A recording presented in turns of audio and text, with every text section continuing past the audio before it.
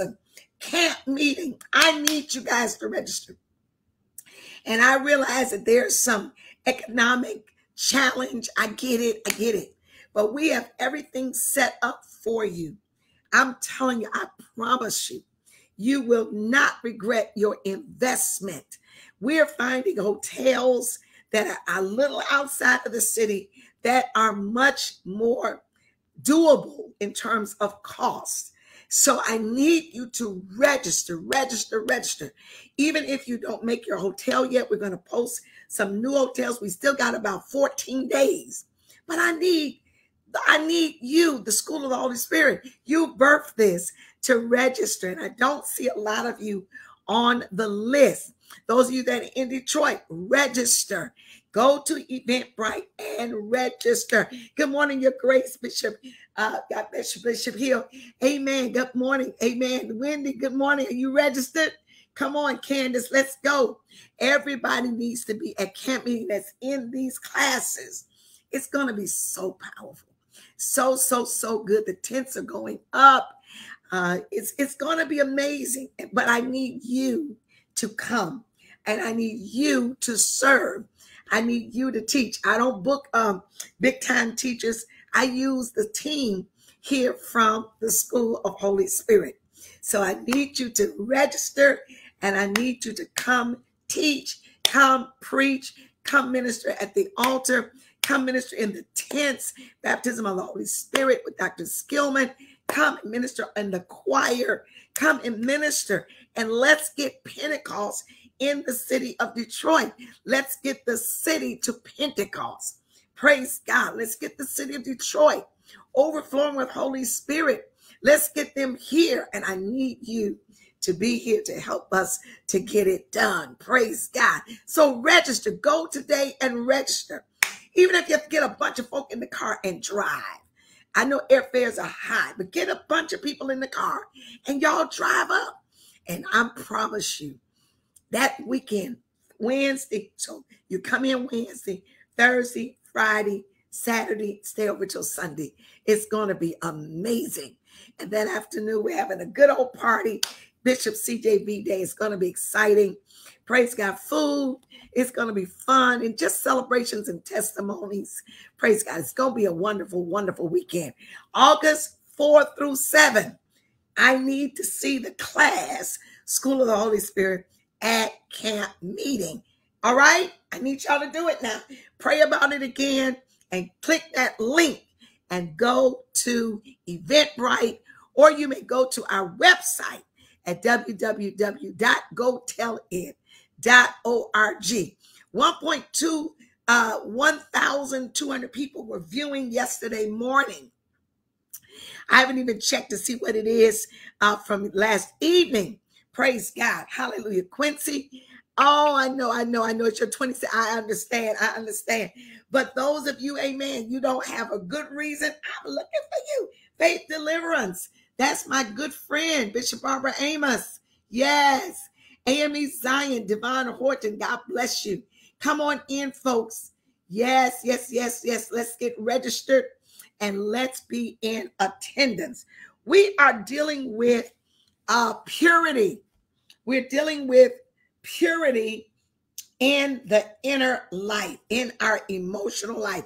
Anita says it's a beautiful drive from the Pennsylvania area. Come on, sugar. You know I need you, Dr. Sheila Donald Johnson, our pastor to worship. Lenita Jenkins, let's go. Okay, somebody just got appointed to a pastoral appointment. Praise God. Congratulations. Woo, you know I like that kind of preaching. Yes, Quincy. Yes, come on. Jump in the car. Good morning, my soror. Dennis Wellens Glover. God bless you. It is time for camp meeting, and I want to see you there. We are dealing with spiritual formation. And the Holy Spirit has really been uh, just kind of talking to me and and and dealing with me about offense, the spirit of offense. Yes, Mother Pearl, I know. We're praying for you and Papa. Travis Wells, good morning, Sonia Golden. She preached for us in uh in Florida. Come on up in preach in Detroit. Hallelujah. Erica, God bless you. Erica Bennett, she says, I received my first pastoral appointment last Thursday. Yay! AME, praise God. God bless you, Erica. Holy Spirit is being poured out on all flesh. My daughter attended uh, that church at Faith Deliverance. Amen. Good morning, April, and good morning, Alan. Thank you for your service last night. Dr. Noreen is going to be preaching and teaching at the camp meeting. Renee Elizabeth, Leatrice Fuller Ellis, good morning. Let's go. Praise God. It's going to be an amazing, amazing time.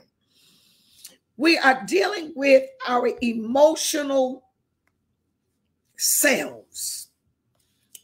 Does Holy Spirit have access to our feelings, to our emotions, to our feelings? Does Holy Spirit, hallelujah, hallelujah. Yes, Denise, I know, I know, I know, but I'm telling you, God is healing. God is a healer. Janine Daly, God bless you, Pastor.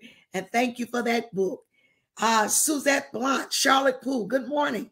Listen, I want to ask this question Does Holy Spirit have access to your emotions? Woo! That is a huge question. And I want you to answer it for yourself.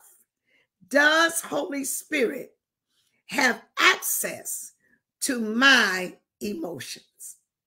Wow. Have I given Holy Spirit access to my feelings? Woo! Does Holy Spirit control my feelings, reactions?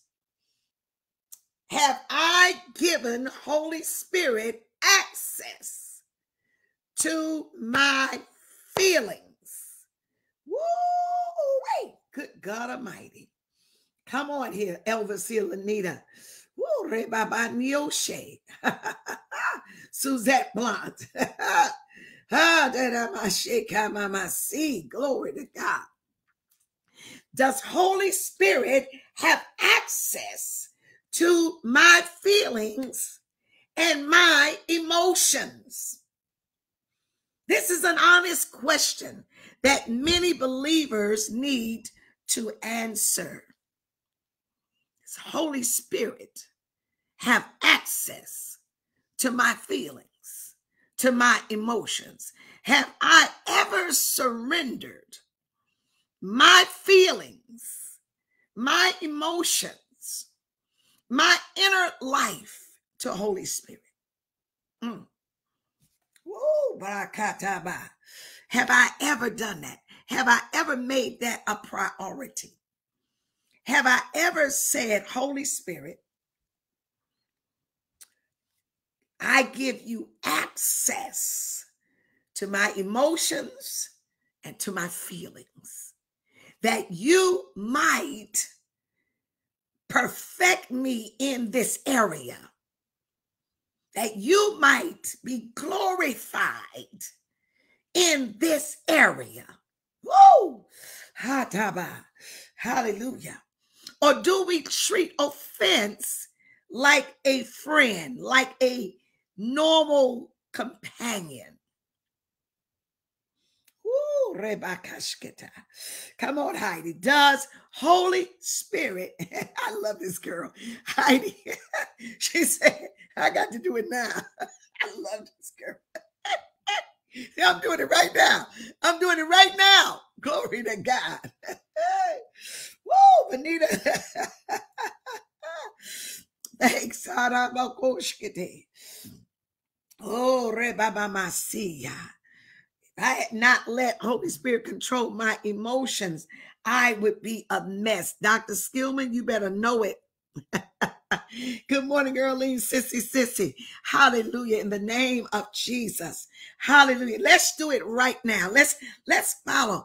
I have to turn my feelings over to the management of Holy Spirit. This morning, uh, where am I lacking? Lakandra, God bless you. Hallelujah. I surrender my emotions and my feelings to you, Holy Spirit. Hallelujah. This is what happens. This is what happens. Glory to God. With the saints, we give him, we try to give him our bodies. I give you my body. I give you that. But Lord, I have not ever surrendered my emotions to you. And so my emotions have pretty much been under my own control. Uh, and they pretty much control me. I, it's not like I'm controlling them at all. Ooh, Jade says we should be the most refreshing, unoffendable people in the planet. Absolutely. Ooh, come on, Elder Demetrius. Let's do it. I love it because, from a man's perspective, sometimes men uh, are not given permission to express their emotions and their feelings, and you have them as much as us. Hallelujah. Oh, Rabbi Masia. Hallelujah. I feel God in this place. Eloshia. Ooh, Rabbi Rebaba Adrian says, uh, I was not allowing a surrendering, but I had to so I could fully heal. I need to talk about that for just a moment. And I get it. I, I, I am not at all a clinician in the area of uh, mental health or any of that. I don't claim to be that. But I do want to say something about your past and how to handle your past. When we have come through trauma, when we have come through abuse, abandonment, rejection, I understand that it causes sometimes deep emotional pain. I am so aware of that. I will never be dismissive of that. And I will never treat it lightly. I will never minimize that. But I do need to challenge you in the area of the baptism of the Holy Spirit. I need to challenge you in that area. If you have received spirit baptism, if you have received Holy Spirit baptism, if you are a believer in Jesus Christ, now listen to me carefully. When we get saved and we come into Christ, our emotions, our our DNA, our temperament is not touched. The only thing that Holy Spirit, Jesus the Christ, and the Father convert at salvation is our human spirit. Our human spirit is transformed, awakened, and quickened, made alive. That is when you come to Jesus Christ. You come to Jesus Christ just as you are, broken, wounded, when what what whatever state you're in. And the Lord receives you.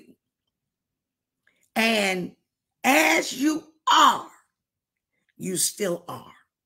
The only thing that has changed is your spirit. Your spirit was dead in trespasses and sin. And now, when you come into the presence of the Lord by faith in Christ Jesus, faith in Christ Jesus, you have become born of God. That simply means that your spirit man is born anew. So you have been born by the Spirit because of placing your faith in Christ Jesus and his finished work. I get it. Oh, see, Ryan, that is what happens at conversions. Your hurt doesn't go away. Your childhood pain does not go away. Your offenses, your angers, your disposition doesn't change. When we come to the Lord Jesus Christ, Dr. Ingrid Ingram, we come just as we are, and He accept He accepts us just as we are. But it's not as many have made you to believe. Song says, I looked at my feet, my feet looked new. I looked at my hands, my hand did too. That is an allegory. That's a that that is that is to to to to identify that your spirit man, which is the real you, the spirit man is the real you. And now your spirit man has been renewed by you cognitively, intentionally, mentally making a profession of Jesus Christ. And so your human spirit is now brand new. Now, to add to that, Holy Spirit seals your spirit, seals it, so that now you can rest in your salvation. Amen. You are secure you are safe. You are saved. However, your emotions are not saved. Your soul isn't saved. Your soul, your will, your soul has to now be retrained to live in agreement with your human spirit, your renewed human spirit. And so I want to help us. Your salvation is secure. Your spirit man is new, but your soul soul damage, soul brokenness, soul injury is not saved.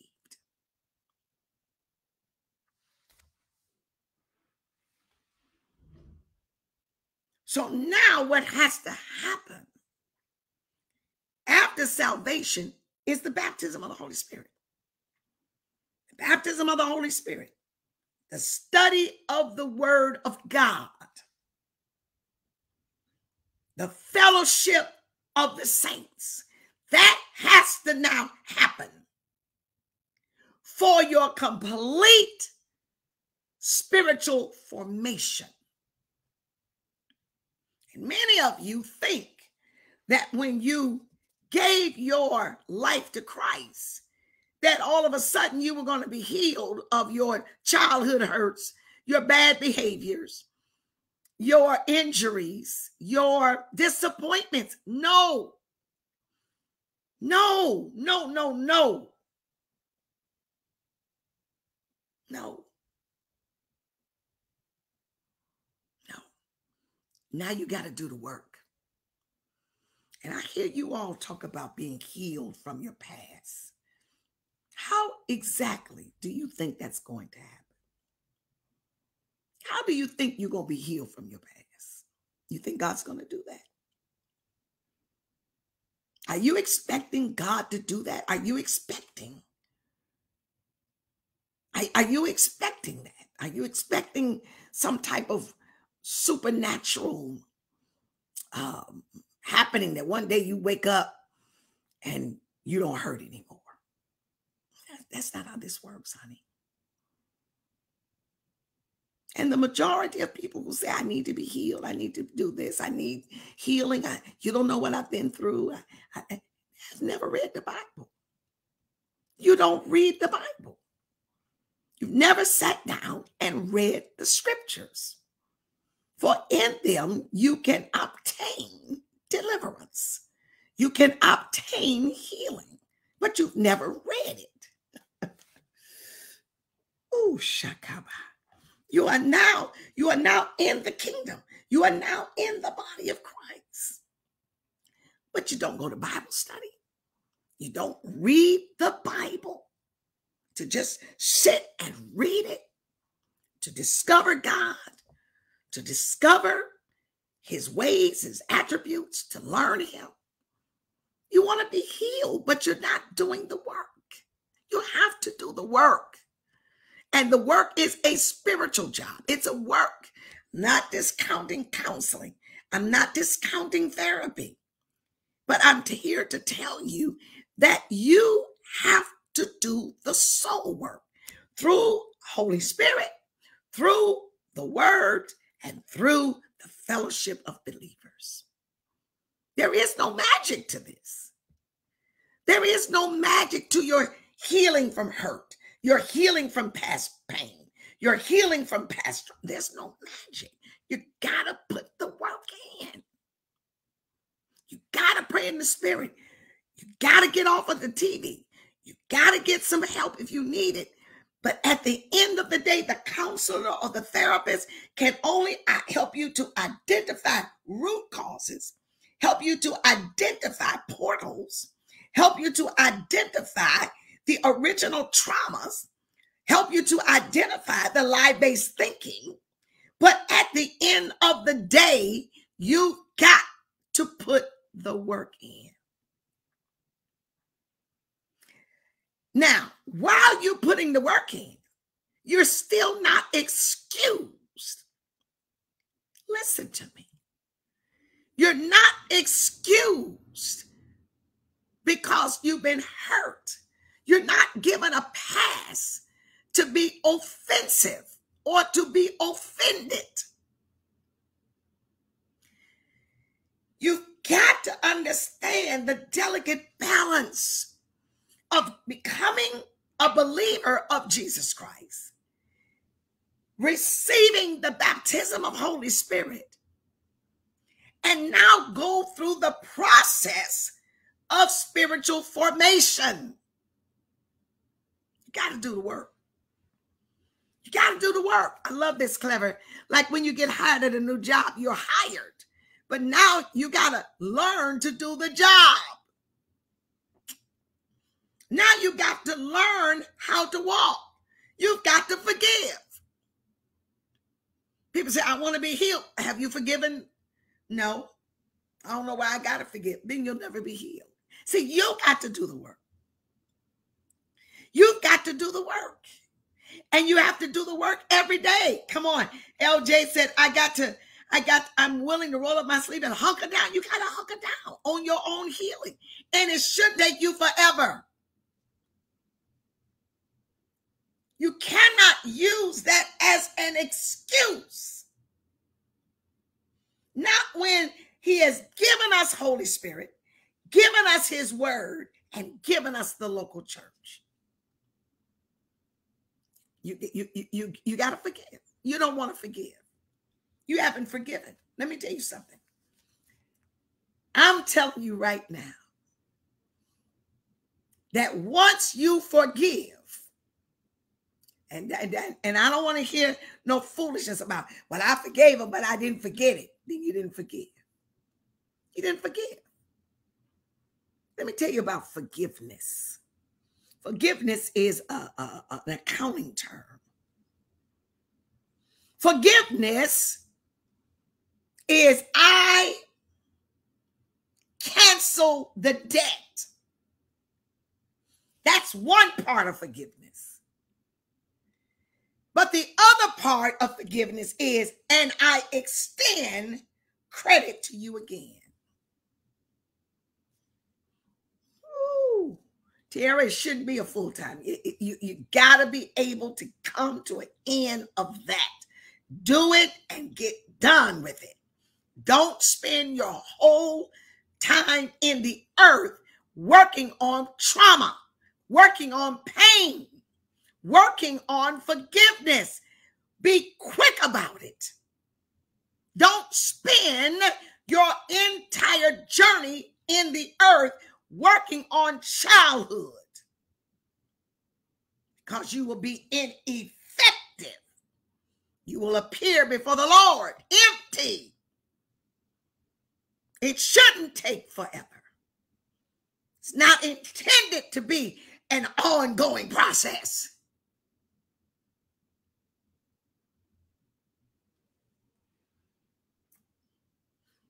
I'm telling you right now, this there is so much lying going on from hell. There is so much happening. There is so much going on. There is so much happening in the earth that the devil has has seeped into the church and got y'all walking in deception and delusion, walking in pain, walking, walking, walking, walking, walking, and you never get to your purpose. You never get to fulfilling the great commission you never win a soul because the whole time that you receive the Holy Ghost, you've been working on yourself. Somebody said, Woo, Rebakashata. Elder Demetrius said, ah, it's extending that credit again. That's it. I cancel the debt, but can I extend you credit again? That's what forgiveness of a loan does. That's what forgiveness does. Forgiveness says you you botched that up. You didn't handle that right. But we forgive the debt. And, and, and, then it turned right around and you apply for credit and you get it again. That's forgiveness. That's that's what bankruptcy does. Bankruptcy is a time of redemption. Cancels all your debts, and then you go back to those same creditors and, and you get a credit card again. Why? Because the debt has been forgiven. It's not on your record now. Woo! I'm telling you, somebody right now you all are distracted. I saw somebody say, I gotta forgive myself. Where do you get that from? Where where do you get that teaching from? That doesn't come from the word of God. That those are those are woo,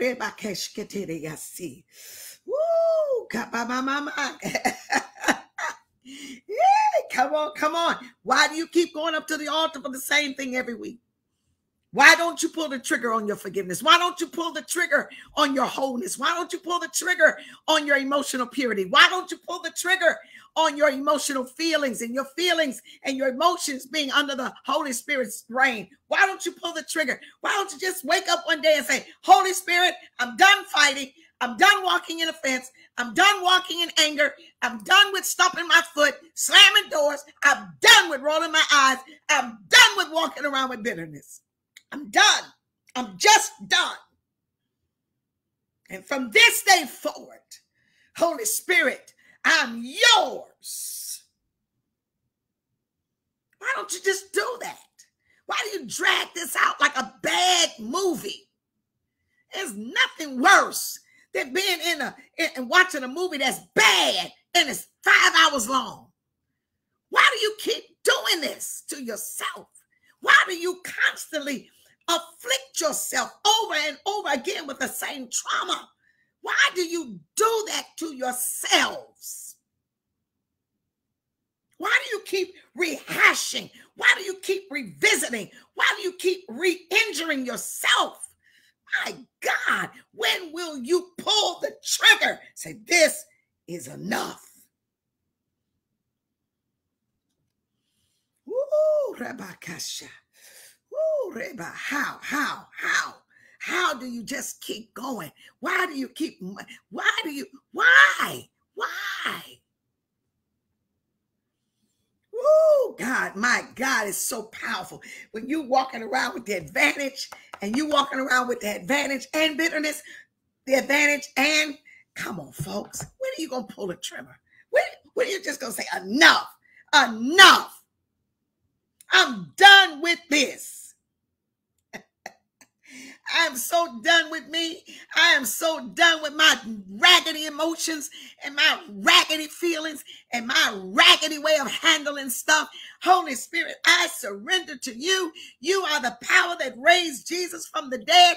I'm walking around with the power of God in my life, and I'm still mad. I'm still hurt. I'm still angry.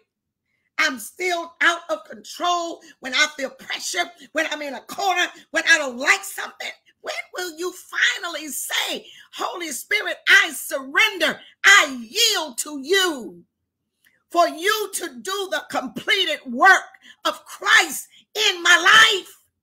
I yield, I'm done. Oh, Rabakia so I can be fruitful, so I can be productive, so I can win the loss, so I can walk in freedom. Oh, glory to God. So I can be everything you want me to be. I'm so done with being raggedy. I'm so done with holding grudges. I'm so finished with revenge. I'm because guess what? I'm the one carrying this. So I'm done. I'm so done. Oh my God. I got to feed all these prisoners. I got to make sure they take a bath. I got to make sure that all these prisoners that I'm holding captive in the prison of my emotions and the prison of my feelings, I got to hold, I got to feed these prisoners. I gotta, I gotta make sure that they get health care. I gotta make sure that they don't dial me into prison, and I gotta keep them alive because I want to revisit my pain whenever I want to revisit my pain. I want to go down and talk to my my captives, my prisoners. I want to remind myself how I didn't have a daddy, how I didn't have a mama, how I didn't have a sister, I didn't get a bite, how the church didn't didn't tell me the truth, how the pastor lied, how I got raped, how I got violated, how many abortions I had. I'm just going to keep feeding these prisoners. I'm going to take ownership and responsibility for all of these prisoners that I have arrested, that I'm holding captive in my soul, because I don't want to give them release.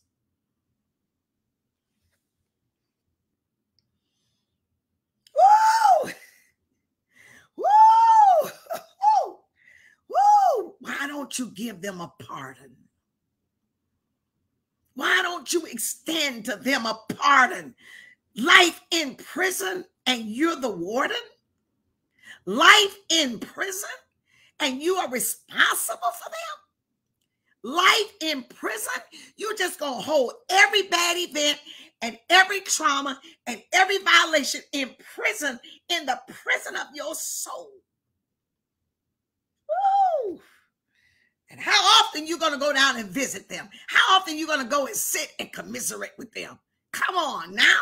How many times you want to hear the story of how many times somebody did something to you and this ain't, ain't worked out for you? How many times do you want to sit with that and eat that and drink that and and and become that? Why? Why would you want to do that? Why do you want to cry about that again? Why do you want to cry? Oh God, oh God, you know what I did? Oh, oh, oh, why do you want to have that kind of life? Why do you want to be in performing arts? Why do you want to always be on stage with your feelings and your emotions? I'm talking to somebody by the Spirit right now. Why do you want to be an actress or an actor? Why don't you get out of the play? Why do you want to be a warden of a prison? Come on, folks. Why do you keep want to visit bitterness? Why do you want to keep drinking anger? Why do you keep want to being offended? My God, do you know what it's doing to your body? What it's doing to your soul? Do you know what it's doing to your productivity? Do you realize that you have the power of the Holy Spirit? You can shut that prison down. You can open the door and let every prisoner out. And then you can shut it and lock it and bury it forever till you realize the freedom and get yourself out of there. Why do you want to be a prisoner and you're the warden? Does that make sense? How are you the prisoner and the warden? Why do you keep going down there talking to that stuff? Why do you keep dragging that stuff up before God? Why do you keep praying about this stuff? Why? Why do you always want to be on the other side of crying in prayer? Oh. And your prayer life is always weeping and wailing and whining and hurting. When does your prayer life become, oh God, infuse me, empower me by your spirit today to be effective, to win the lost, to get people baptized in the Holy Spirit, to heal the sick, to be the catalyst on my job for change. Holy Spirit, give me my assignment for the day. Why do you want to be in the dungeon talking to these folks? Bitterness and anger and rage and unforgiveness. Why do you want to be a friend with those people? Ooh, Rabakasha. Why? Why? Why? Why? Why do you want to do that to yourself? Why do you want to keep being the warden of your own prison? Ooh, Rabakashka. Woo, some of you like the attention. Some of you want that kind of negative. You want that kind of affirmation. That is so perverted. And I speak life to you now, spirit baptism. Those people went into that upper room. They had all these issues. They had trauma, they had pain, they had rejection, they had fear, they had anxiety, they had all of that. But when they came out of that upper room, you never see that struggle on them anymore. Oh, come on, folks. Come on, people. And then you spew it out on people. And then you you you you make you make people uh, not want to know Jesus because they don't see a, a valid, authentic move of Holy Spirit in your life. Your witness is marred. Your witness, your oh, come on. Ooh, uh, Hallelujah. You don't want that, folks. You don't want to spend your whole time. I'm speaking prophetically. I'm not looking at any of my notes. I have not gotten to anything, but it's a testimony of God's grace when you can walk in the midst of evil and not be evil. It's a testimony of God's grace when you can walk in the middle of sin and not be a sinner. It's a testimony of God's grace when you can walk among those that are that are wicked against you and persecute you for no cause and yet you don't feel like you need to take retribution. It's the grace of God. That's why he gave us holy spirit that's why that's why you are so in, you are unproductive because you are living in your past and you're visiting all of those people. You're visiting the uncle, the mother, the you're feeding them. You keep doing it and you keep doing it and you are going to never reach your full optimum potential in life if you are always a prison warden. The freedom of a forgiving heart, the freedom of walking offenseless, the freedom of being unoffendable, the freedom of it. Oh, if you allow your compulsions to dominate your life, you're going to miss every opportunity, every good and perfect gift. You're going to miss opportunities, folks, and it won't be the devil's fault. It won't be because God didn't send it. It won't be because the church didn't uh, provide it, but because you continue to walk in your evil compulsions. You continue to make your compulsions a pattern. You continue to make your compulsions and your negativity a pattern of your life. You are going to miss all of the good. You're going to be hindered from growth. And because all because your inner person, your inner reality has never been touched by Holy Spirit, has never been touched by the word of God, has never been touched by the people of God. Every time somebody tried to touch it, you got mad. Every time somebody touched it, put their finger on it, you got attitude. You're going to miss opportunities, folks. You're going to miss open doors. You're going to miss platforms where you can be an amazing witness for Jesus Christ. Oh, Rababahata. These footholds are real. You got to look at your overreactions. You got to look at why you're like that. You got to look at why it takes you a long time to forgive and trust people again. You've got to look at that. You've got to pay attention to the signs of your spiritual formation, your inner life, your inner life, your inner life. And if your gospel is hid, it is hid to those that are lost. If your gospel is hid, filmed, vague, if your gospel is hid, it is hid to those that are lost. How long must you brood? How long must you regret? How long must you live in anger? How long must you operate in these compulsions, patterns, and triggers? How long, folks? Oh, Rabbi Kishkoto, Makiate She, Makianadabosha. Pour your spirit out. Come fill me up, Holy Ghost. How long? How long? How long? How long? How long will you resist, Holy Spirits? Work in your heart. How long will you resist? Holy Spirit's outpouring. How long will you allow Satan's footholds to occupy your life? How long? How long? You have to ask yourself these hard questions. How long will I be like this? How long will I be on the injured list? How long will I be in critical care? How long will I be on the ICU ward? How long must I be hooked up to a ventilator? How long must I must walk around with an IV? How long? How long? How long?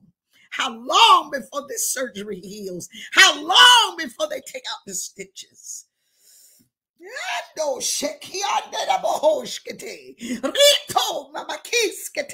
How long? How long must you act childish? How long must your reactions be unrecognizable as those of Christ? How long before we see the fruit of the Spirit? How long before we see love and mercy and temperance and self control? How long, folks? How long? How long? How long? Woo, before we can hold you accountable. How long before you can take a rebuke and not get angry? How long before someone can bring something to your attention and it doesn't flip you off and make you think they don't love you and make you feel like that child at three? How long, folks? How long? How long? How long are you going to resist Holy Spirit? How long are you going to fight Holy Spirit? How long are you going to deny Him access to your feelings and to your emotions? How long are you going to sit in church puffed up and mad? How long are you going to stay home because you don't go to church anymore? How long are you going to isolate yourself? How long are you going to be in that silo by yourself, trying to serve God by yourself?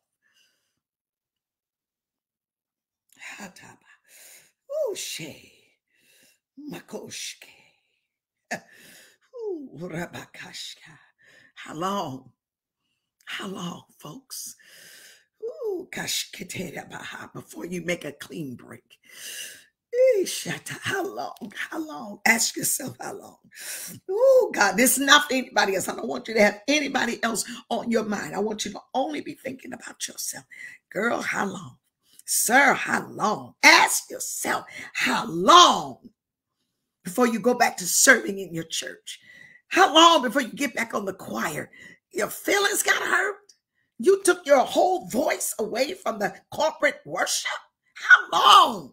Must we be childish? How long? I don't like him. Well, learn them anyway. How long before we stop voicing what we like and what we want? How long? How long? I don't like nobody tell me what to do. How long you gonna be like that? I ain't like the way they said it. How long you gonna be like that? How long?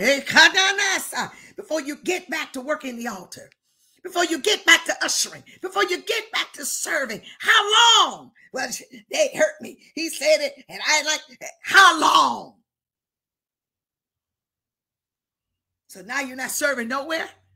You're at home by yourself. Come on, folks. You don't see that. You don't see how the enemy has disturbed you and, and you are straight up distracted and off. Well, you know, Bishop, I, uh, uh, how long? How long? Jesus said in Luke 23 and 24, Father, forgive them for they know not what they do. Father, forgive them. Let us not be blind to the fact. Let us not be blind how we justify our own sinful actions. Let us not keep justifying the fact that I was just born like this. And if you knew what I was and what I went through, I don't want to know. And I'm sorry you went through it, but baby, can we just get the job done? I don't want to know. I'm so sorry you been. I'm so sorry about that. I'm I'm really sorry about that. But baby, there's a whole world out here that needs to be saved. You can't hold up your whole world for one person or one answer that. How long? How long? How long are you going to be evil and mean? How long are you going to walk in unforgiveness? How long, folks? How long? Lord, forgive them for they knew not what they did. Forgive them. And Lord, I forgive. I release. How long? How many more trips to the altar? How many more prayers are you going to pray? Well, I've been praying. The Lord hasn't answered. Well, that should be a sign. And you got to get up. You got to get over it. You got to release those prisoners. You got to let those prisoners go. You got to go down and pardon every one of them. You have to give them a permanent pardon. And once you give them a pardon, guess who gets free? You. When have you given Holy Spirit access to your emotions and to your feelings. When? Jesus is on the cross, not for anything he did. He's on the cross innocent. He's on the cross bleeding. He's on the cross dying. Innocent. And yet he forgives. I, I just feel like Holy Spirit is going down into deep places. Holy Spirit is digging down your childhood, your pain, your hurt. John Royster, a permanent pardon. Don't give them a, t- a pardon and then put them on a, a, a, a on that ankle thing. No, let them go. Stop monitoring their behavior. Stop monitoring what they do. Give them a pardon and release them and shut your prison down. The only reason your prison is up is because you have prisoners. Ooh, you have prisoners. Give them a pardon. Give them what they deserve because of what you've received from Christ. You received a pardon. Why do you keep feeding the prisoners? Why do you keep maintaining them? Why do you keep feeling responsible for them? They can't pay you back. Somebody needs to hear that. They can't pay you back. They can't fix what happened. They can't redo it. They can't undo it. They can't pay you back. Let them go. Woo! Shakanda Ramanda. Let them go. Let them go. Let them go. Let your prisoners go. Let them go. Search your feelings, search your heart. Go into the deep crevices and see where your prisoners are. And every time something happens, it's that same prisoner that is triggering your responses. This is why God has given us Holy Spirit to help us pardon. Glory to God. Woo! To give pardon for sin and a peace that endureth. Thine own presence to cheer and forgive. Faith for today mm, and bright hope for tomorrow. Blessings are mine with 10,000 beside. Great is thy faithfulness. God, I thank you. Oh, great mm, is thy faithfulness. Morning by morning, new mercies I see. All I have needed, thine own hand has provided. Oh, great is thy faithfulness, Lord, unto me. Pardon for sin.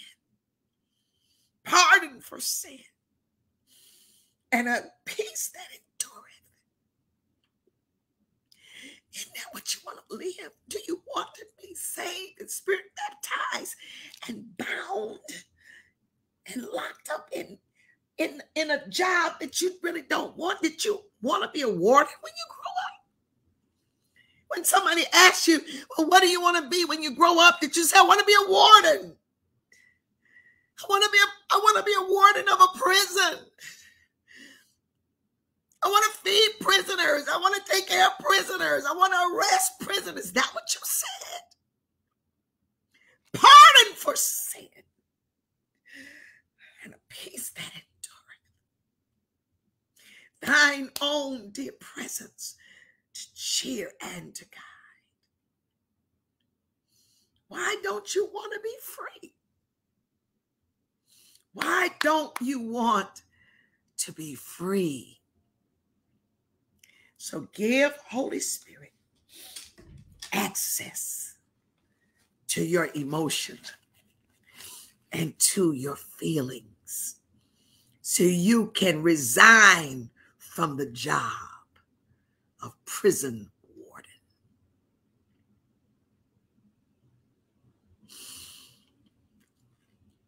Woo! Blessings of mine, 10,000 beside. Great is thy faithfulness. Great. And if God is that faithful to me, then I must be that faithful to him. And I want you to choose right now in the name of the Lord Jesus Christ that I'm going to give Holy Spirit access right now, today, to my emotions and to my feelings because I desire purity in my inward parts. I desire emotional purity. I desire emotional purity in the era of Holy Spirit. Erica said, I resign effective immediately. How long? How long? Here's my resignation. Anita Ford. Fanita says, I resign. And I'm a show. Woo. And don't put a tether on them to micromanage their behavior give them a full pardon. When the courts, the governor, powers that be grant full pardon,